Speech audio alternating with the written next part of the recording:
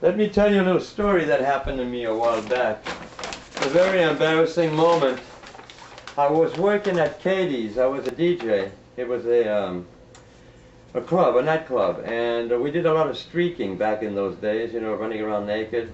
And one night I was streaking like that, uh, and I hopped over a table and I banged my knee, and I was hovering around, and I so I ran back towards the door that led to the room where I had taken my clothes off, and uh, right there was my brand new girlfriend waiting with her parents.